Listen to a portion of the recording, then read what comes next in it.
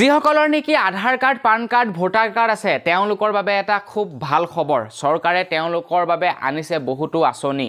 যাৰ জৰিয়তে নেকি পাঁচ লাখ টকা পৰ্যন্ত লাভ কৰিব আৰু বহুতো পাব সুবিধা। যিসকলৰ নেকি Aadhaar card voter card PAN card আছে। তো বন্ধুসকল সেই ভাল খবৰটোনো কি কি লাভ কৰিব আধাৰ কাৰ্ড ভোটাৰ কাৰ্ড থকা লোকসকলে আৰু কোন লোকে পাব মই আজি ইয়াৰ বিষয়তে ক'ম। গতিকে মই শ্ৰী পাঞ্জী গৈ আপোনালোকে চাই আছে আপোন নিউজ। আহক আৰম্ভ কৰোঁ আজিৰ ভিডিঅ' তো ভিডিঅ'টোৰ আৰম্ভণিতে আপোনালোকক এটা সৰু ৰিকুৱেষ্ট কৰিব বিচাৰোঁ। যদি ভিডিঅ'টো ভাল লাগে লাইক এটা কৰি থৈ যাব।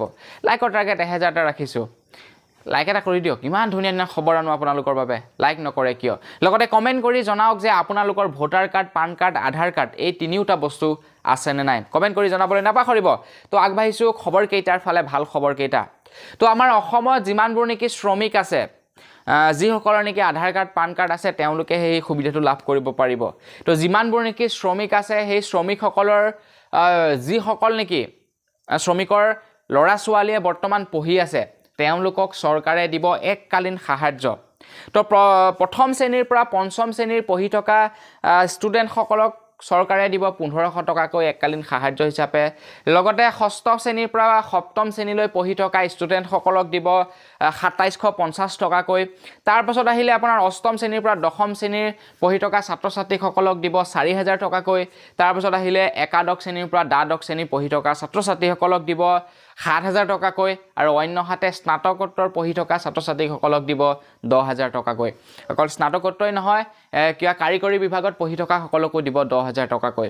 এই সুবিধাটো কিন্তু সকলোৱে নাপায় শ্ৰমিকসকলৰ ছাত্ৰ ছাত্ৰীয়েহে পাব তাৰ পাছৰ যিটো নেকি ভাল খবৰ সেইটো হৈছে যদিহে কোনো শ্ৰমিকৰ ল'ৰা ছোৱালীয়ে মেট্ৰিক বা হায়াৰ ছেকেণ্ডেৰী পৰীক্ষাত ছেভেণ্টি ফাইভ পাৰ্চেণ্ট পাই পাছ কৰে তেনেহ'লে তেওঁলোকক পাঁচ হাজাৰ টকা প্ৰদান কৰিব।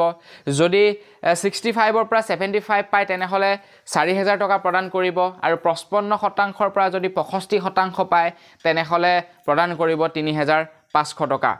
আৰু ভাল খবৰ আছে গতিকে ভিডিঅ'টো শেষলৈকে চাই থাকিব আৰু লগতে লাইক এটা কৰিবলৈ নাপাহৰিব। তো শ্ৰমিকৰ যদি দুটা সন্তান থাকে তেওঁলোকৰ যদি দুটা সন্তান থাকে দুটা সন্তানৰ বিবাহৰ বাবেও প্ৰথম দুটা সন্তানৰ বাবেহে কিন্তু প্ৰথম দুটা বিবাহ সন্তানৰ বিবাহৰ বাবেও পঁচিছ হাজাৰ টকা প্ৰদান কৰিব। আৰু সেয়াই নহয় দুটা সন্তান যিসকলৰ আছে তেওঁলোকৰ ধৰি লওক জন্মৰ সময়ত মানে প্ৰসূতিৰ সময়ত তেওঁলোকক দহ হাজাৰ টকা প্ৰদান কৰিব এককালীন সাহাৰ্য শ্ৰমিকৰ সন্তান জন্ম হোৱাৰ সময়ত। তো তাৰপিছত আহিলে যিমানবোৰ নেকি শ্ৰমিকৰ সা সৰঞ্জামৰ প্ৰয়োজন হয় ধৰি লওক আপোনাৰ পকা মিস্ত্ৰীৰ প্ৰয়োজন হ'ল ইটো সিটো বা কাঠ মিস্ত্ৰী শ্ৰমিকৰ যদি কিবা কিবি সা সৰঞ্জাম প্ৰয়োজন হয় সেই সা সৰঞ্জামসমূহ কিনিবৰ বাবে বিছ হাজাৰ টকা প্ৰদান কৰিব চৰকাৰৰ পৰা। তো তাৰপিছত হ'ল যে কোনো শ্ৰমিকে যদি জটিল ৰোগত পৰে তেনেহ'লে সেই জটিল ৰোগৰ পৰা বাচিবৰ বাবে এক এক লাখ পঞ্চাছ হাজাৰ টকা প্ৰদান কৰিব। সেইটো কিন্তু এককালীন সাহাৰ্য কোনো ধৰণৰ ঘূৰাবৰ প্ৰয়োজন নাই। তো তাৰ পাছতে আহিলে যদি বোলে শ্ৰমিকে ভাবিলে মই ঘৰ বনাম বা ঘৰ আপোনাৰ ক্ৰয় কৰিম বা ভূমি ক্ৰয় কৰিম তেনেহ'লে যদি কোনো ফ্লেট কিনিব বিচাৰে শ্ৰমিকে তেনে তেনেহ'লে পাঁচ লাখ টকাৰ ঋণ প্ৰদান কৰিব।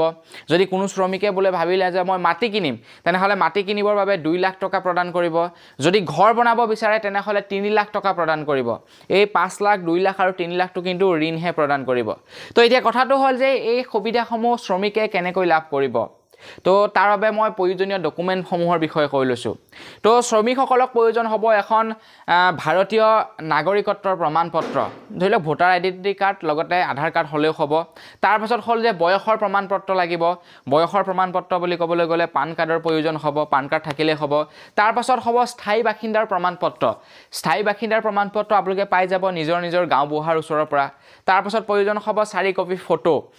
যিজন নেকি শ্ৰমিকে এপ্লিকেশ্যন কৰিব তেখেতৰ চাৰি কপি ফটো লাগিব আৰু তেখেতৰ নমিনীৰ লাগিব দুকপি ফটো তো তাৰপাছত লাগিব আপোনাৰ নব্বৈ দিন কাম কৰাৰ চাৰ্টিফিকেট তো চাৰ্টিফিকেট পাই যাব আপোনালোকে শ্ৰমিক অফিচত। তো তাৰপাছত আহিলে আপোনালোকৰ বেংক পাছবুক বেংক পাছবুকখন প্ৰয়োজন হ'ব শ্ৰমিকজনৰ।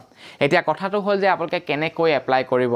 তো এপ্লাই কৰিবৰ বাবে আপোনালোকে কোনো ধৰণৰ অনলাইন এপ্লিকেশ্যন কৰাৰ প্ৰয়োজন নাই কোনো মেন মন্ত্ৰী এম এল এৰ ওচৰত যোৱাৰ প্ৰয়োজন নাই কোনো অফিচাৰৰ ওচৰতো যোৱাৰ প্ৰয়োজন নাই। তো আপোনালোকে হয়তো জানে যে লেবাৰ ইউনিয়ন বোলা এটা বস্তু আছে এটা সংগঠন আছে আমাৰ সকলোবোৰ অঞ্চলতে লেবাৰ ইউনিয়ন তো আপোনালোকে সেই লেবাৰ ইউনিয়নত গৈ প্ৰথমে আপুনি তাৰ সদস্য হ'ব লাগিব আৰু তাতে আপোনালোকে সম্পূৰ্ণ ইনফৰ্মেশ্যন পাই যাব তাতে ফৰ্ম পাই যাব সেই ফৰ্মসমূহ লৈ এপ্লাই কৰিলেই হ'ল। তো আপোনালোকৰ ঘৰৰ ওচৰত বাৰু লেবাৰ ইউনিয়ন আছেনে নাই সেইটো মোক কমেণ্ট কৰি জনাই যাব। তো বন্ধুসকল এই যি নেকি আঁচনি সেইটো এই আঁচনিটো যোৱাকালি ঘোষণা কৰা হৈছে। যোৱাকালি বুলি ক'বলৈ গ'লে চৌব্বিছ ফেব্ৰুৱাৰীৰ দিনাখন ঘোষণা কৰা হৈছে। তো আজি হৈছে আপোনাৰ পঁচিছ ফেব্ৰুৱাৰী। নহয় জানো? আজি হৈছে পঁচিছ ফেব্ৰুৱাৰী গতিকে ইমান এটা সুন্দৰ খবৰ ইমান সোনকালে দিয়াৰ বাবে লাইক এটা নকৰি নকৰাকৈ কিন্তু নাথাকিব আৰু লগতে কমেণ্ট কৰিব যে ভিডিঅ'টো চাই কেনেকুৱা পালে। তো পুনৰ এটা ভিডিঅ'ত আপোনালোক সকলোকে লগ পোৱাৰ আশাৰে বৰ্তমান বিদায় মাগিছোঁ। ধন্যবাদ। জয় অসম।